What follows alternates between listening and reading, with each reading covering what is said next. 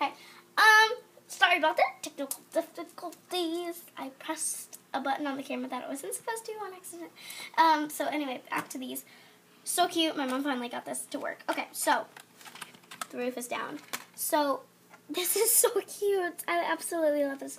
And actually, if you're a Breyer collector, these figures are exclusive to these the Fallen or sets.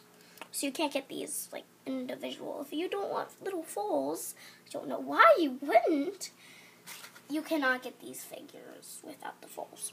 So this is so cute. He's like I think he's my favorite foal, like ever. I have another. I have two other foals in my thing somewhere, but I didn't find them. So anyway, so these these two. This one is also exclusive. So I'm going to put these guys in their little barn. You can either put them in this way or put them in this way. I am going to choose to do it this way. And you can still see them with this little plastic. Oh, I think, um, I feel like one of my friends who watches, oh yeah, uh, oh, at school, school started, if you wanted to know, I am in the fifth grade at my school, and one of my friends, she watches my videos, I didn't know it, she actually watches them, she asked me the bit if I've ever tried to do a really cool project and like totally messed up on it.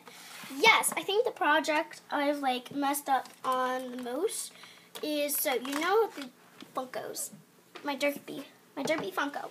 So I might be talking while I this. So one time I took the box that she was in because they're really cool boxes, and I I cut out like the front and I tried to make Derpy a bath. And I totally messed up. And now I threw it away and it, it looked